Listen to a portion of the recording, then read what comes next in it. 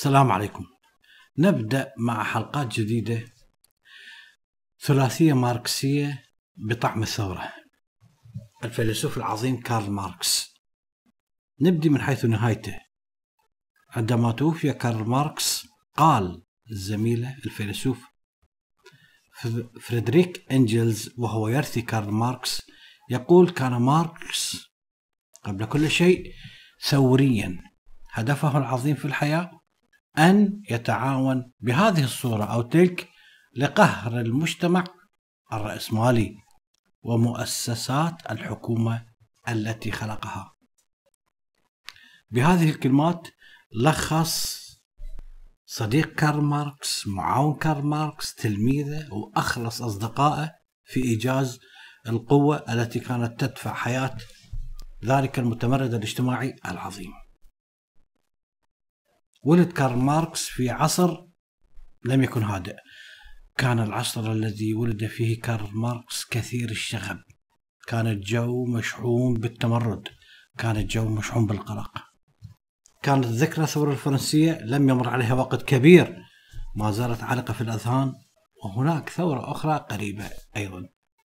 تمر السنوات العشر التالية بمرارة عامة واسعة النطاق. وبالتذمر وبالنقد ضد الحكومة القائمة.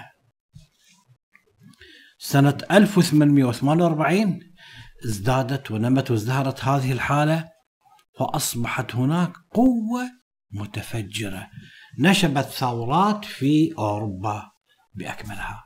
حتى في إنجلترا في إنجلترا كانت هناك حركة العمال مطالبين باشتراكهم في السياسة.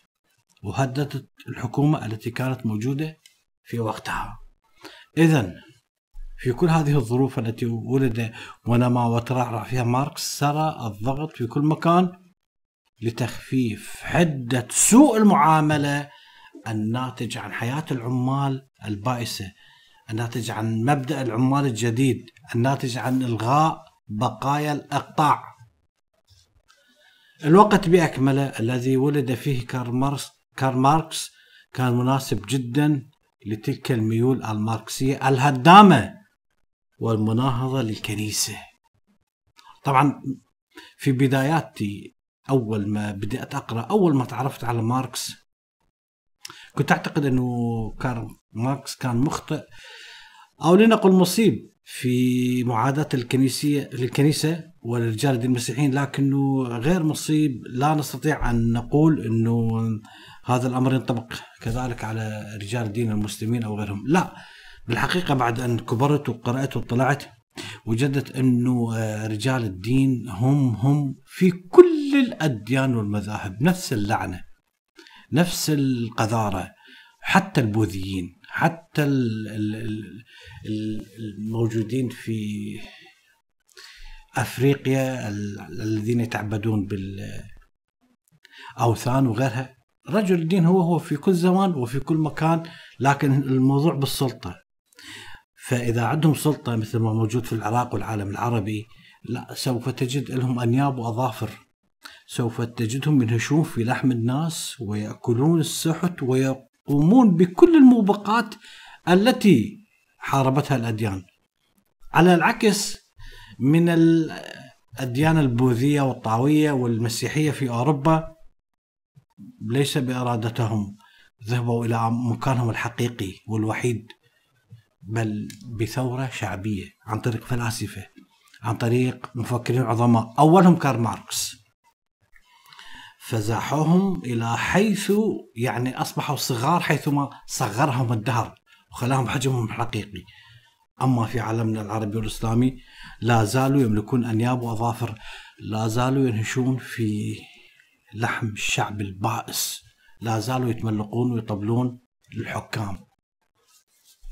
خلال سنين طويلة لم أكن أعتقد في حياتي اللي عشتها أن هناك أسوأ من صدام وأن هناك أعمال أسوأ من صدام لا. رجال الدين اللي إجوا بعد صدام هم أسوأ وألعن من صدام أو هم نفس اللعنة. لم أكن أعتقد أن المعارضة اللي كانت تعارض هذا الدكتاتور الطاغية السفاح المجرم ال ال ال ال ال هم سيكونون نفس اللعنة. وأن المبادئ كلها ما تتجاوز سفاههم. رجال الدين اللعناء جعلوا عند الناس إحباط أصبحوا قطاع طرق. قطاع طرق مع الله. كرهوا الناس بالدين كرهوا الناس بكل المقدسات. وظهروا على حقيقتهم. يعني حقيقة عارية مكشوفة لكن لا زال للأسف الشديد كثير من الناس مخدوعين بهم. المهم فيلسوفنا هذا العظيم درس عندما كان شاب القانون والفلسفة في برلين وبون من أجل أن يحصل على منصب الأستاذية. لكن الباب أقفل في وجهه بسبب آراء المتمردة بسبب آراء الملتوية. دائما لا تهادن هذه المبادئ فاتجه نحو الصحافة. تتأسس لك صحيفة جديدة دورية جديدة في ألمانيا سنة 1842 يصبح كارل ماركس أول كاتب في هذه الصحيفة ثم ما لبث أن أصبح رئيس تحرير هذه الصحيفة الألمانية. وكارل ماركس ما يقعد راحة. بدأ بهجوم متكرر في هذه الصحيفة ضد الحكومة البروسية الحكومة الألمانية واتجاه المتطرف بشكل عام كانت متطرفة. المهم اللي صار شنو؟ تم إيقاف هذه الصحيفة عن الصدور بعد أقل من سنة تقريبا أو بعد بعد السنة بأشهر قليلة تم إيقاف هذه الصحيفة بسبب كارل ماركس وآرائه الهجومية ضد الحكومة. ينتقل كارل ماركس إلى باريس من أجل أن يدرس ويتعرف على الاشتراكية ويكتب في جريدة أخرى أيضا قصيرة الأجل. يعني رجله خضراء كارل ماركس وين بيروح على أي جريدة تنغلق لك ورا سنة ورا أشهر. لكن هناك يتعرف على أهم فلاسفة ومنظري الفكر الاشتراكي وكذلك الشيوعي. أهم حدث سوف يكون في حياة كارل ماركس وهو في باريس بداية تلك الصداقة العظيمة بينه وبين طوال حياته تستمر هذه الصداقة إلى آخر يوم بحياته مع الفيلسوف فريدريك أنجلز وهو زميل ألماني غني نسبيا والده يمتلك مصانع بإنجلترا وغيرها ابن صاحب مصانع للقطن من أنصار المثل الإشتراكية.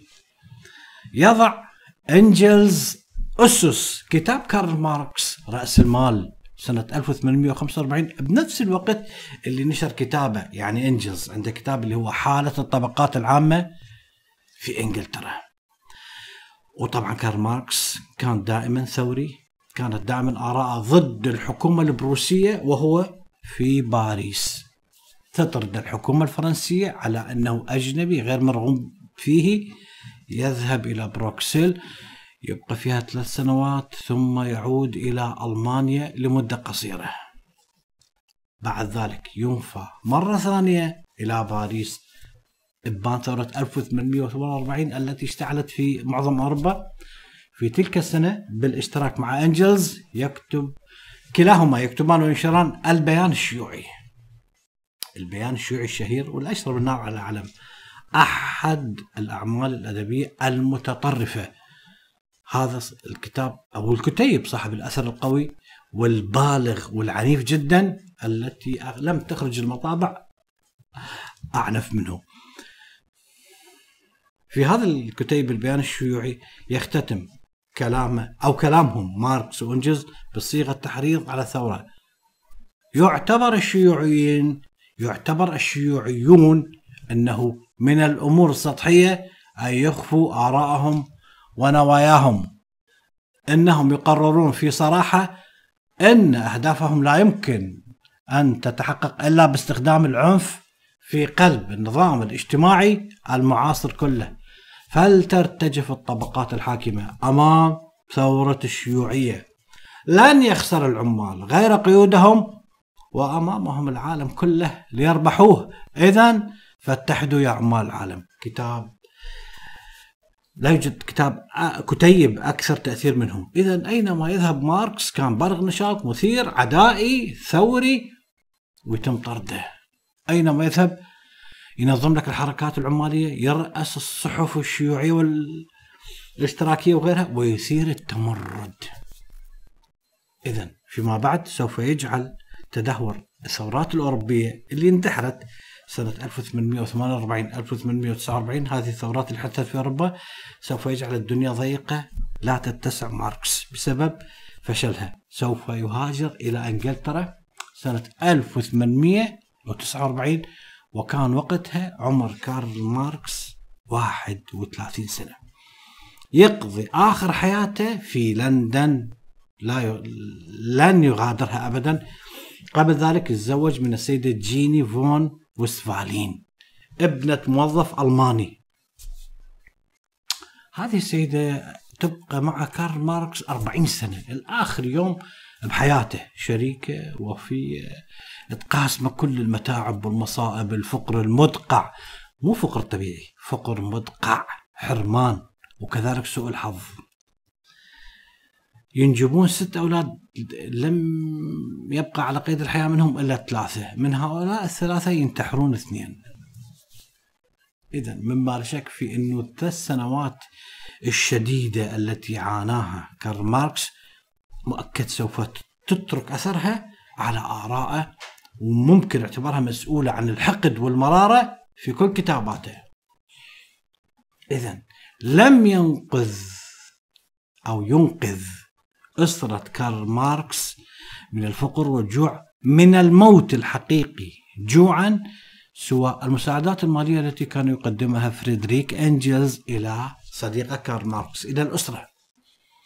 صدق أو لا تصدق أنه أغنى أنه أكثر رجل كتب عن المال هو أفقر رجل على الإطلاق ماليا. كان دخل كارل ماركس يكسب جنيه واحد بالأسبوع مو باليوم جنيها واحدا في الأسبوع. يستلمه من صحيفة نيويورك تريبيون. وأيضا بعض الأجر المتقطع البسيط من كتابات لبعض الموضوعات القصيرة اللي يكتبها فقط. لكن رغم كل هذا البؤس رغم كل هذا الشقاء رغم الدائنين الملحين وعدم استطاعته أن يدفع إيجار الشقة البائسة اللي يقعد بها رغم المرض رغم الحاجة كل هذه الأمور اللي أحاطت به باستمرار تجد هذا الرجل العظيم وال الشقي يعني البائس جدا والساكن في منطقة سوهو القذرة في لندن. مع ذلك كان كعادته دائما مواصل تقدمه مواصل آه، رحلته مواصل كفاحة في القضايا الاشتراكية سنة بعد سنة. يعني هذه الأمور ممكن أن تجعل أي إنسان حطام. هذا الرجل مع كل هذه المصائب كان يذهب إلى المتحف البريطاني. هذا المتحف البريطاني يذهب يجلس 16 ساعة في اليوم من أجل ماذا؟ من أجل أن يجمع كميات هائلة من المصادر من المواد. لذلك المؤلف الذي سيكون عنوانه رأس المال. وإذا نترك جانبا حساب الفترات اللي تعطل بها عن التأليف بسبب الأعمال الأخرى بسبب المرض. استغرق هذا الكتاب من حياة كارل ماركس 18 سنة. أما أنجلز الذي كان يعول عائلة كارل ماركس في تلك الأثناء فقد بشر في هذا الكتاب لكنه مع ذلك يئس من أن يخرج, يخرج هذا الكتاب إلى العالم من المطبعة. قال اليوم إنجلز قال اليوم الذي يكتب فيه هذا الكتاب اليوم الذي تذهب هذه النسخة إلى المطبعة سأسكر في ذلك اليوم. الغريب أنه ماركس يشارك مع أنجلز بأنه يقول ذلك الكتاب اللعين. اعترف ماركس بأنه كابوس حقيقي هذا الكتاب كتاب رأس المال. إذا كان أعظم حدث في حياة كارل ماركس خلال هذه السنين هو تأسيس أول جمعية عمالية دولية للعمال الرجال سنة 1864 اللي يكتبون عنها الآن يسموها الدولية الأولى. إذا نحن الآن أمام تأسيس جمعية الدولية الأولى اللي تهتم بالعمال. يعني تضم لك عمال العالم طبقات العاملة في العالم بأكمله في جمعية دولية واحدة.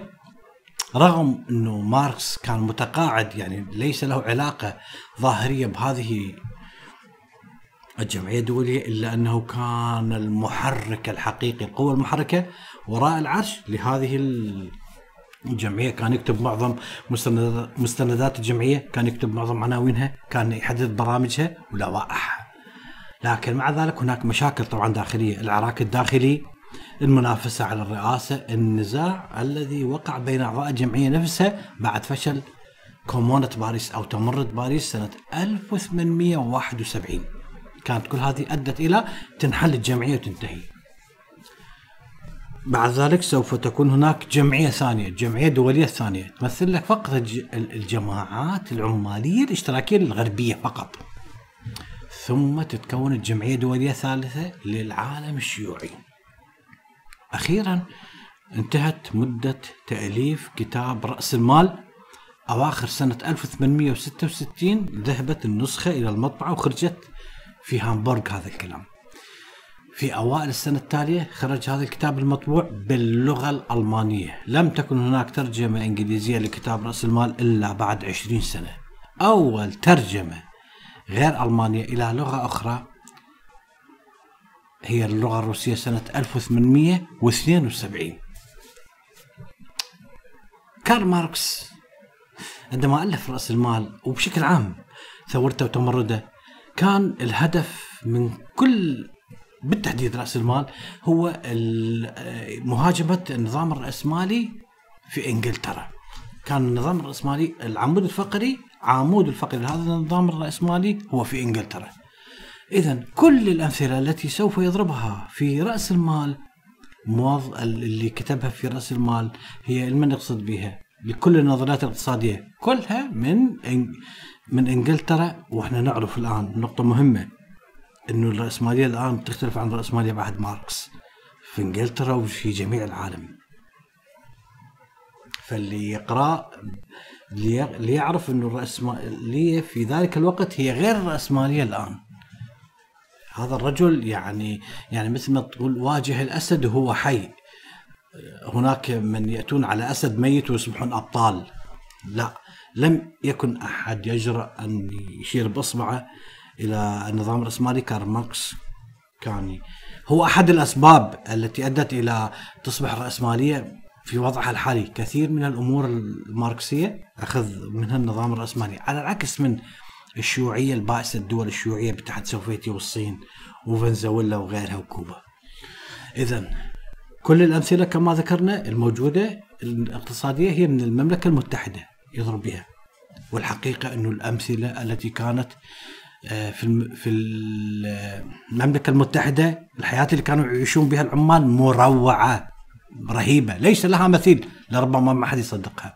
النظام الرأسمالي في العصر الفكتوري اللي كان موجود به وعاش ماركس كان في حالة ليس لها مثيل على الإطلاق. كانت الأحوال الاجتماعية بائسة جدا بين عمال المصانع تعجز به عن الوصف إذا في كل تلك المأساة والبؤس بنى كارل ماركس أبحاثه بالضبط على التقارير الرسمية لمفتشي الحكومة اللي كانوا يقولون هاي المآسي الموجودة في بلدنا. فقدم حقائق عظيمة في كتاب رأس المال. من ضمنها صدق ولا تصدق أنه حسب ما يقول قامت السيدات بجر القوارب في الترع بالحبال المربوطة في أكتافهن طوال الطريق. هذا في إنجلترا في العصر الفكتوري ربطت السيدات إلى العربات كما تربط دواب الحمل. لنقل الفحم إلى خارج المناجم البريطانية. أما الأطفال كانوا يعملون في مصانع النسيج عندما يبلغ تسع سنوات أو عشر سنوات من عمره ولمدة 15 ساعة في اليوم. وعندما جاءت أعمال أدوار العمل بالليل يعني أصبح عمل صباحي وعمل ليلي. كانت الأسرة التي ينام فيها الأطفال دائما دافئة. لا تبرد على الإطلاق لأن كانت تستعمل بالدور. يذهب هذا الطفل إلى العمل فيصحي الطفل النائم ينام يأتي الطفل الآخر وهكذا. ينتشر السل؟ نعم. السل سوف ينشب أظافره في تلك المجتمعات في أماكن مختلفة مزدحمة ليست فيها أبسط معاني الإنسانية أبدا. والحقيقة أنه هؤلاء رجال الدين اللي يباركون للطواغيت وهؤلاء رجال الدين اللي يطبلون لكل ظالم أين هم من هذه المآسي اللي تحدث؟ سواء حاليا في مجتمعاتنا أو حتى في عهد كارل ماركس من هذا البؤس. أبدا لن تجد رجل دين ممكن أن ينقد بسيط بل يحاول أن يعيش نغنغة مرتاح. ليس له علاقة فقط بالكتب التي يلوكها بدون أن يقصدها الكتب المقدسة بالنسبة له فلاحظ هذا الرجل العظيم الذي وقف ضد كل هذا البؤس؟ آه، واللي تحمل ما تحمل من مشاق. والحقيقة أن الاحتجاجات على هذه الأحوال المتدنية اللا إنسانية الفظيعة لم تكن قاصرة على ماركس. بأي حال من الأحوال مؤكد أن هناك فلاسفة وكتاب ومفكرين صاحبين أخلاق وصاحبين قلوب رفيعة. هذه القلوب الرقيقة القلوب التي لا تتحمل ذلك البؤس. لا تتحمل أن تصمت أمام البؤس. هذه القلوب المفعمة بالإنسانية مثل تشارلز ديكنز جون رسكن كذلك توماس كارليل وكتاب آخرين. يعني عندما تقرأ رواية تشارلز ديكنز بأكملها عن البؤس والفقر. كتبوا في حماس جديد يطلبون الإصلاح. تنتهي هذه الحلقة وإلى حلقة أخرى مع ماركس. شكرا لكم.